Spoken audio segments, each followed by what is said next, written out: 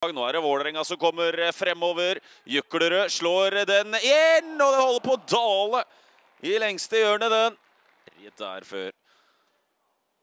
Tidligere landslagskaptein. Igjen så ser vi han tre opp Bergær. Det er glimrende Sarpsborg 08-fotball! Det er en fantastisk skåring av gjestene! Han går for det, og det er ikke noe dårlig forsøk heller. Han har en så vanvittig god høyrefot. Kreutzrygler. Ser vi venstrefoten hans igjen. Eminent. På lissa til Håkans. Og her da Henrik eh, Bjørdal via en spiller. Og en 1-8. Og utligning for Vålerenga. Utsrygler. Ser vi venstrefoten hans igjen. Eminent. På lissa til Håkans. Og her da Henrik eh, Bjørdal via en spiller. Og en 1-8. Og utligning for Vålerenga. Fin flikk, fin fotball. Kommer seg fri på venstre sin. Innlegget er godt, og der kommer Petter Reinhardsen fra sin høyre bekk. Har med seg Bjørdal Petter Strand og går selv. Slipper den til slutt. Bjørdal han leiter etter alternativer. Prøver seg selv, og det er en glimrende skåring, det! Når han finner Reix på bakre stolpe der. Og der viser han seg jo frem som en ekte måltid med. Det blir Kreutzrigler, og han treffer ganske så godt. Og det er like utenfor det.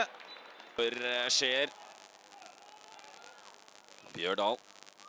Får den opp til Raiks. Altfor seint inne i Bjørdal. Der skjer, men se på denne fotballen her, og så er Håkans igjennom! Og så er det 3-1 til Vålerenga! Og der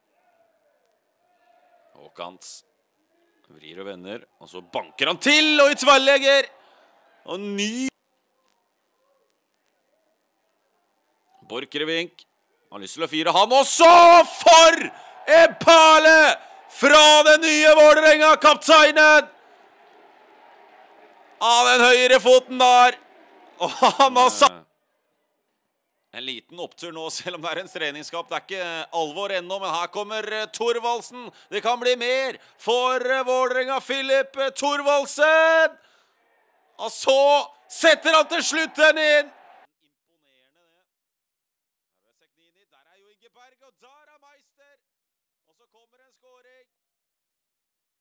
For gjestene også. Det renner inn her nå. De fremmøtte koser seg. Det Sarpsborg 08 får et straffespark. Det er Vikne som felles. Og det så ganske så Teknini som eh, skal ta straffesparket. Han setter den sikkert. Rafik uh,